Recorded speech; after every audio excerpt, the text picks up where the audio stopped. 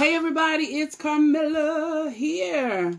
My apologies for having to shift our time earlier.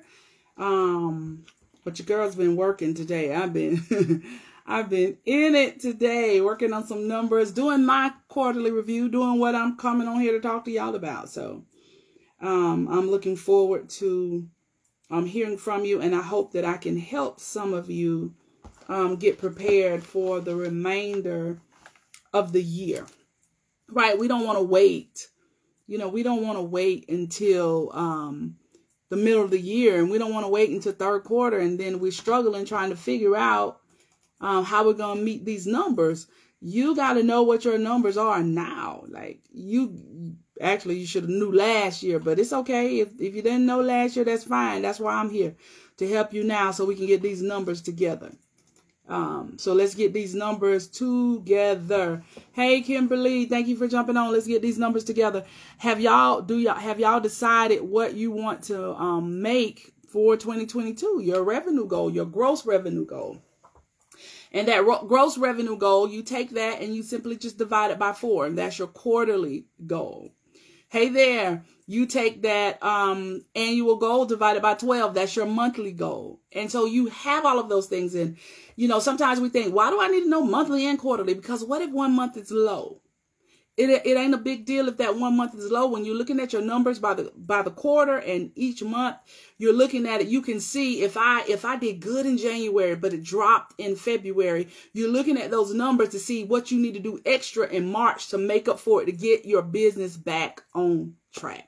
Now listen, y'all, I'm sorry. I just came in running wide open. I ain't introduced myself or anything because we do have some new people in here. I've been doing coaching all evening. So like I'm in I'm in like work mode, like let's go, let's go. so let me slow down. My name's Carmela Williams, and I'm your favorite business coach. I work with um, entrepreneurs to just help make sure that one, you're making money in your business. That is one of my primary things. Uh, it's real important to me for my clients to be successful. I, I I'm not doing my job if my clients are not making money. So that's my thing right there. Hey Cambrell, hey Don, hey Tina, there y'all go. Come on in here. I hope y'all got y'all notebooks. I got my notebook. I hope you're ready. We got some notes. I got some tips I'm gonna be um giving. I'm gonna be giving to you. hey there, thank you for popping in, Dieta.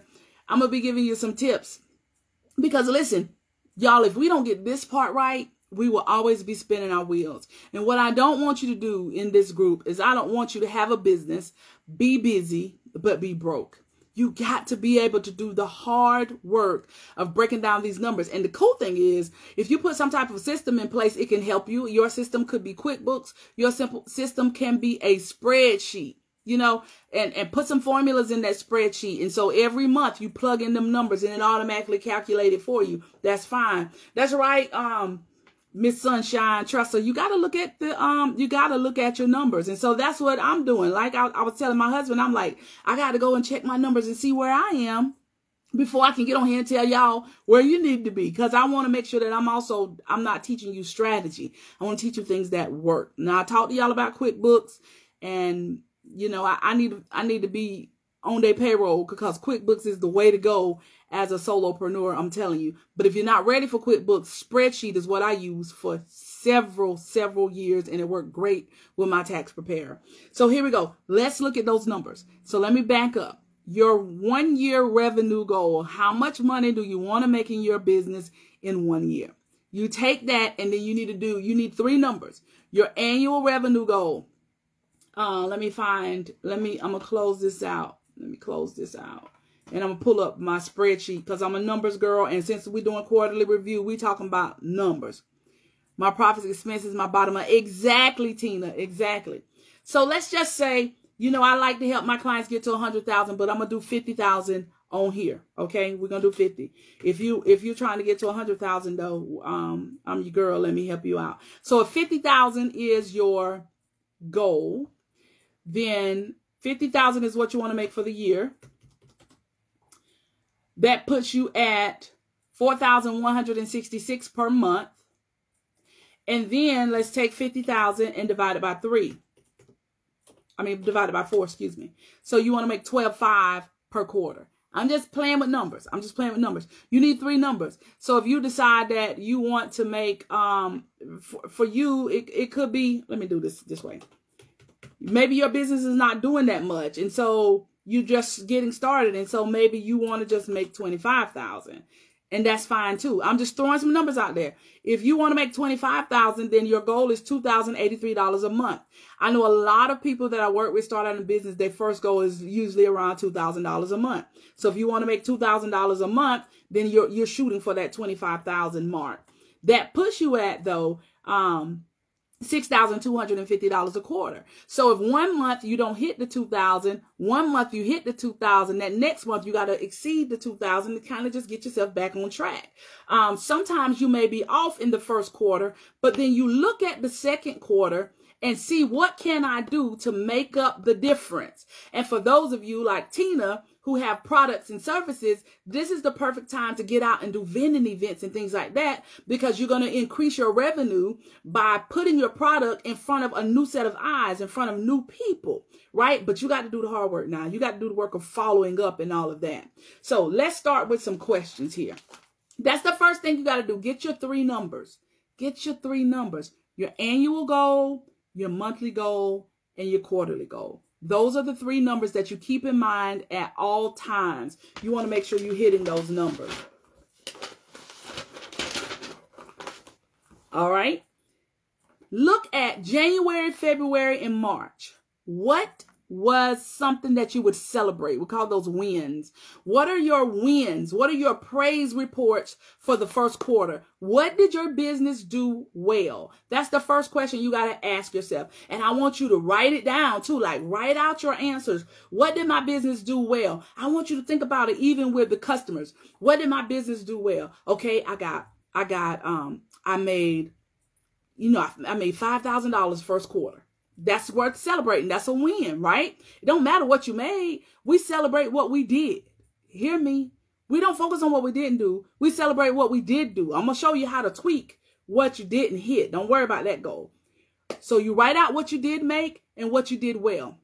Um, I see Cambrell's on here. You can write out Cambrell how, the number of events that you did the first quarter. If you did 10 events the first quarter, you know, I made you know, $15,000. I did 10 events the first quarter. And out of those 10 events, five of them were new customers. You know, all of those wins, right? Uh, another win might be I was in uh, uh, a cities that I had never, my first time doing an event in this city, that city. Out of the 10 events that I did, um, eight of them were in new cities. You know, all of that stuff is wins. And so you got to dig down into the detail of it, right? Get into the details of what it was that you did in your business first quarter. How many new customers did you get? Where did those customers come from? So write out all the wins. Question number one. Number two, why did they become, why were they wins? Why were they wins? What was different? Perfect, Latressa. So that's congratulations. Y'all tell her congratulations. Congratulations for that win. Um, Golden Sunshine. Her win was three weeks in first quarter. She was fully booked. That's worth celebrating. That's amazing. And then the other question to ask yourself, Latressa, is what did I do different to get fully booked those three weeks? Because that is something you want to implement into second quarter. And so because you were booked for three weeks in first quarter, how many weeks do you want to be fully booked in second quarter? Do you want to double it? Do I want to hit six weeks in um, my next quarter fully booked? So you got to look at what did I do different? How did I get fully booked? So you're going to set a goal of how many weeks you want to be fully booked in the next quarter and you want to put in under it those objectives of what you did that made it successful in first quarter. How can you how can you um, reproduce that for the second quarter? That's how you do that. All right let's see. I got another one. I see another praise report. I've been in my oh my goodness Tina's in my inner circle network. She's in my 12 month program. $700 in the weekend and 48 hours. Yes, honey. Congratulations. That's amazing. Congratulations, Tina. Congratulations. Listen, that's it. That's it. You you get out there and you try new things. That's right, Kimberly. You you find steps. So you look, Kimberly, at what did you do successfully the first quarter. So, you know, for somebody, it may be, you know, I made a thousand dollars. I made $300 a month. That's fine because we're not comparing to anybody else's business, right? But you look to see what you did do and you celebrate that. See what you did do. So if you're se- uh, uh, uh, if you're selling ink pens and you sold three hundred dollars worth of ink pens in January, $300 worth of ink pens in February, $300 worth of ink pens in March. Now for second quarter, our goal is no longer 300. You need to be trying to sell 350 or 400. There has to be some type of increase, right? Make it a reasonable increase of what you want to sell uh, April, May, and June. So if you sold 300 a month, the first three months of the year, now you want to go up to 400 a month. The next three months, put that as your goal. Then I look back and say, now how did I sell $300 a month? Well, I've sold $300 a month. Maybe I went live um, once a week. I posted pictures once a week and then I started playing with some reels. Now, what am I going to do different the second quarter to increase it by an additional $100, right? And so maybe instead of going live once a week, maybe I go live twice a week, or maybe I continue to go live once a week Maybe I continue to post pictures of my ink pens, but maybe second quarter, I'm going to try to do one vending event per month, or I'm going to have one party per month where I have somebody else come in and share my ink pens. All I did was I added an additional marketing strategy to what I know works so that I can increase my sales the quarterly review you really should do this once a month but i know as solopreneurs y'all we be busy. We be trying to keep up. We're trying to do we trying to do websites. We're trying to post. We're trying to get shipping out quickly to our customers. We're trying to respond to everybody and it can be a lot. And so sometimes you may not be able to sit down until about once a quarter and really take a real good look at your books and but you got to do it you got to do it so that you know where your numbers are Listen, we're talking about how much money you brought in, but I also want you to look at your expenses. How much money are you spending? I met with a, a young lady today who was um, talking about, you know, an expense that she had, but she's not getting results. You got to be able to look at the numbers. If you're paying somebody for a service, you need to see the numbers, right? If you're paying for my program, if my program costs my 12 month program, for instance, it costs 250 a month. You should be making triple that every month, quadruple that every month. We're trying to, I'm trying to get my people to six figures. So, you know, a, hundred thousand dollars is not as much as you might think. It's like $241 a day. It ain't as much money as you would think, right? Let me, let me, let me give you an example if you are if i'm working with a coach who's working in corporate america you can get a $10000 contract one $10000 contract where you go into an organization two to three times a month and you hit six figures. So it just depends on what it is that you're doing and and how we can pull them services together. So you got to look at your numbers right? And when you're collaborating with other people. It needs to be a win-win. How what are you going to get out of it? How are you going to get referrals for it from it, right? So collaborations are good and sometimes you don't really make money in in that collaboration, but you should make money as a result of the collaboration, right? So who did you work with in the first quarter? How many new customers did you get as a result of working with them? So if you're collaborating with them, you're not making money and you're not getting referrals, then the collaboration is not fruitful. Uh, for you as an entrepreneur. So it should be fruitful. It's got to be a win-win for you and for the other person. So the ideal way to collaborate, I had somebody was sharing with me, um, they're with an event planner and she's a speaker. She do emceeing and things like that. So when they do an event, they call on her to be the hostess and she's on the mic and things like that if the family don't have somebody. And so they just build that fee in. So when they go to that particular uh, client and they're doing their discovery meeting with the client to see what the client needs and they need them to run, they don't just decorate, but they actually do the entire event. And so so if they don't have an MC or a hostess and they need one, there's a cost for that. And so they collaborate with their friend who is an excellent spokesperson and that fee is in there. So it doesn't take anything away from the event planner the client knows that it's going to cost them an additional $150. And when they reach out to their person that they collaborate with, she knows when she shows up, she's going to get a check for $150. It's a win-win. The event planner gets the event. They take care of what they take care of. It doesn't take any money away from them. And then it gives their, um, it reduces stress for their client because they're offering a full service for them, right?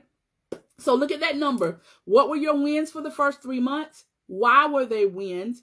Um, what are what can you do to incorporate that into the next three months? I keep saying four and three. It's three months. A quarter is three months. January, February, and March. And we're into April, May, and June is what we're doing now working on your goals for April, May, and June and build upon what is already working. You don't have to throw it all away and start over every quarter. You're just adding to. Remember what I did with the ink pens? I added an additional marketing plan. I added an additional way of getting the word out. I added vending events, right? Another way to see people. Um, and then look at what's working well for you. This is the last thing. It's real simple. So you're going to look at your income. You're going to look at your expenses. You're going to look at what worked well for you. You're going to look at why. And you're going to see how you and set the goals for the next quarter and incorporate those same things in it and then add something to it. Okay. That's the easy part. Then look at what's working well. This is the last thing. What's working well? If you have a very happy client, what's different with that client? What's really working with them? Because that may be a system, it may be something that you're doing with them that you need to automate or duplicate or offer to somebody else. Because I know for me, my clients all have different needs. They're in all different industries, right? And so they have different types of needs. But one thing they all have in common is they need strategies to help their businesses um, work specifically for them. And so I help with strategies. And so identifying what really worked helps you to drill down to the thing that you do well and helps you to be able to see why your customers like you, why your customers are keep keep using you. Put some type of incentive in place for your customers to um, do repeat business with you. What type of incentive is there for them to keep using you? Is it free shipping? Is it if they come to you five times, they get uh, a, bonus, you know, maybe for Latressa, like she was fully booked for three three weeks. So, um, you know, I don't know her price. I'm gonna throw something out there. So, if her price is $150, after they come five times, they get the wash free, and so this next time is just gonna cost you, you know, $100 on that sixth time. It's gonna cost you something, but I'm just letting you know that I appreciate um, the repeat service because statistically they said the only thing better than a new customer is a repeat customer. And so you want some type of incentive. Um, what is the referral system? What do you get? If you send a customer to me, you get $5 off of your next visit. So that's not going to cost you a lot of money. Um, for ink pens, if you, you refer somebody to me and, and I'm just, this is just something my, my husband and I play around with. Um, if we're selling ink pens by the dozen, so if you refer somebody to me that buys a dozen ink pens, then you get free shipping on your next order. So there's an incentive not only for you to continue to shop with me, but there's an incentive for you to send your your friends to me to buy their pens from me too. You may not sell ink pens, but certain things I can't say on here. So whatever your product is, you put your product in here so that you can put some incentives within compliance within your organization in place for people to continue to do business with you. And if you can't give them any type of incentive for purchase, your customer service should be so phenomenal that they want to do business with you, that you remember their birthdays See, those are little things that you can do that don't require purchase. You remember their birthdays. And so if you remember their birthdays, maybe they get a free shipping coupon for their birthday or they get something free on their birthday. Yes, Cheryl, do what works well and then you just add to it. Don't throw the whole thing away and start over. You got to do what works for you. I know it's crazy, y'all, especially those of us who go live on our pages and we watch other people going live. I see people going live 11 o'clock, midnight, stuff like that. But y'all, that just don't work for me. It just don't because I work all day long and I'm doing coaching. And, and then when I'm working with corporate clients and things like that, I got my first call at 745 this morning. I was like, what? Who calls somebody this early? But you know, I realize I work from home. My offices are my office hours are a little different, but they're getting up and going to the State Farm office. You know what I'm saying? So they on the way to work and they're reaching out to me for training. And so I have to shift how I did business because I'm doing business with a different group of people, right? And so I got to do what works for me. So my lives may have to be at noon. I just have to catch people on their lunch breaks. You know what I'm saying? I ain't going to be able to catch people after they put their kids to bed at night. Because by the time you don't put your kids to bed at night, my husband looking at me with a side eye because I got to go in there and sit down and watch a karate movie with him and play on my phone with my foot on him so that he know that, you know, I'm still in this thing with you, boo, because I can be a workaholic. so I got to do what works for me. Oh, Tina, yes. So Tina does a handwritten card and she put a bag of fruit snacks in all of her gifts. And so I don't eat candy. So I ordered these, um, I ordered her, um, Tina has these all natural lip gloss, and I love my lip gloss, gloss, Tina. And my grandkids were here. They was so happy when I opened them fruit snacks. They was they was dancing because they know grandma don't eat candy. They loved it. they loved it. And let me tell you something about those free samples. Giving people those little free samples, it allows them to try before they buy. So even if you have a service, what type of service can you allow them to try before they buy? So all of those things matter. So that was it. It was real short, sweet, and to the point. You got to get in there and get them numbers. Look at those numbers. Don't be scared of those numbers. Make sure those bills are paid. Keep those receipts.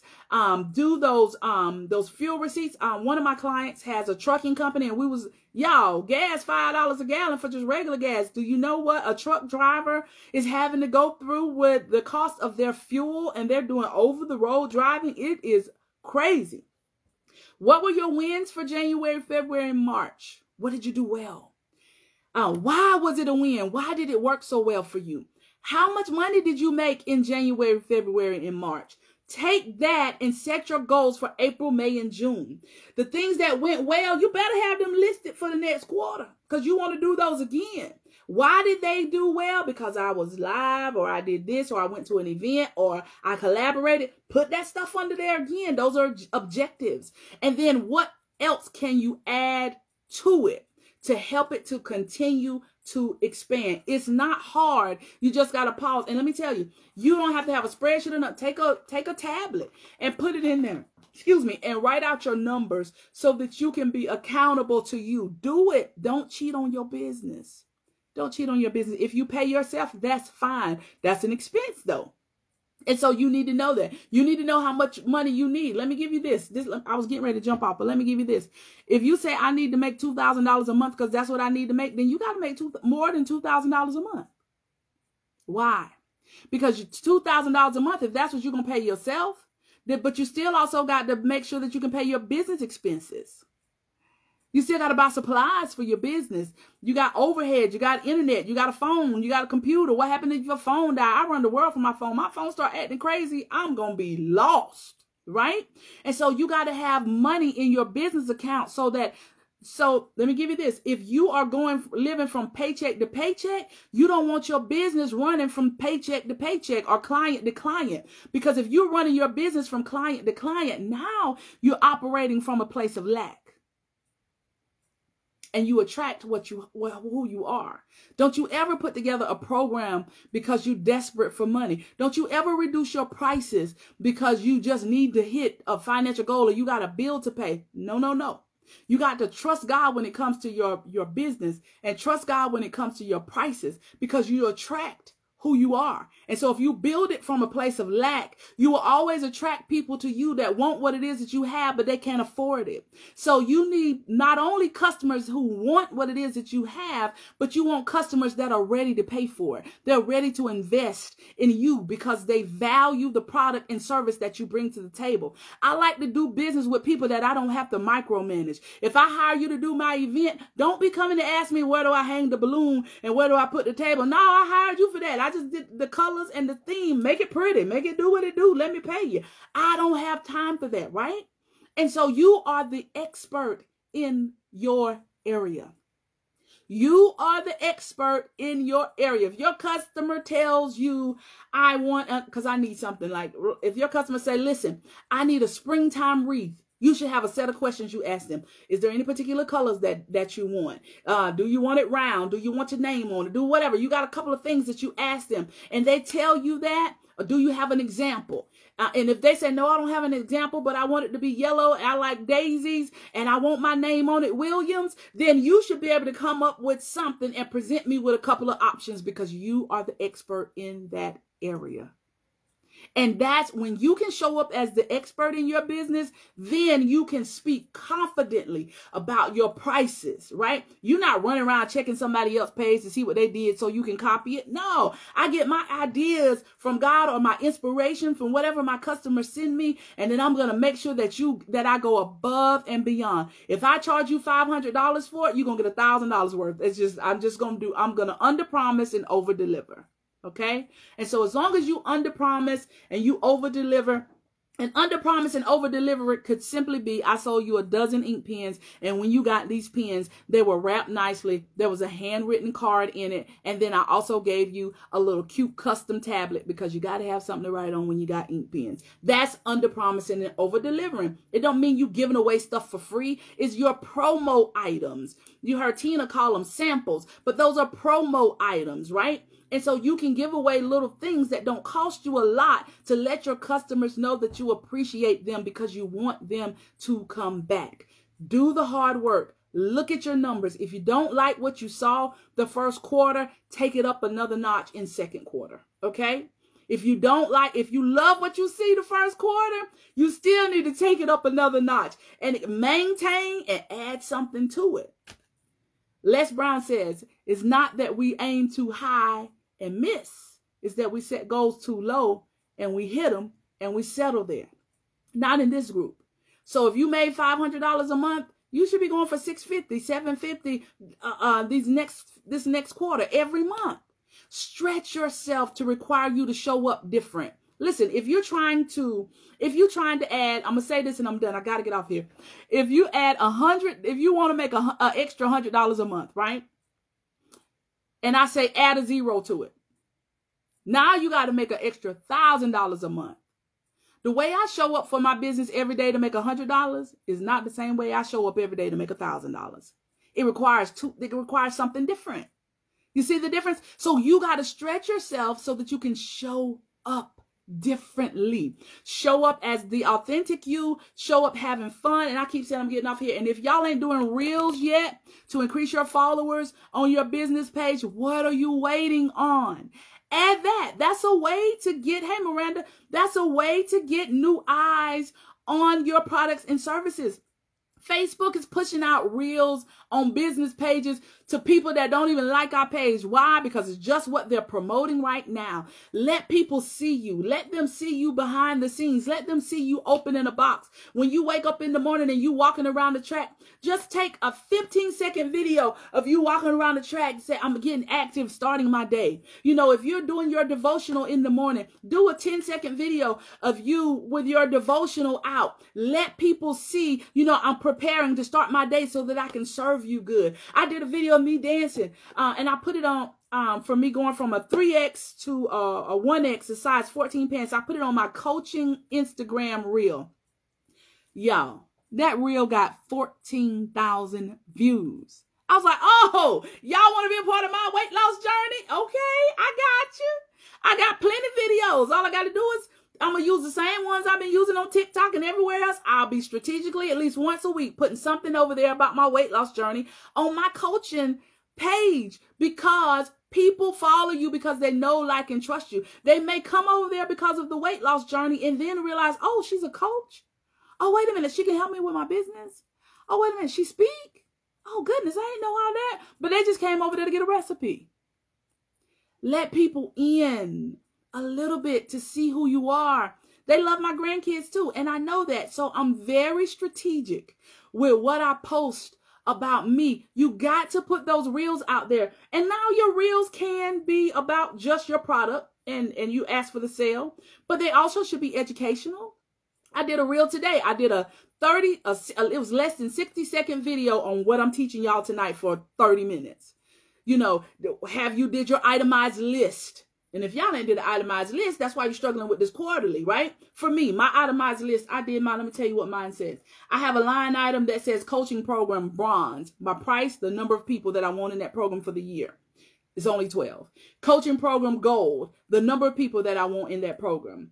Um, quarter two workshops, quarter three workshops. I have a specific purpose for my workshops.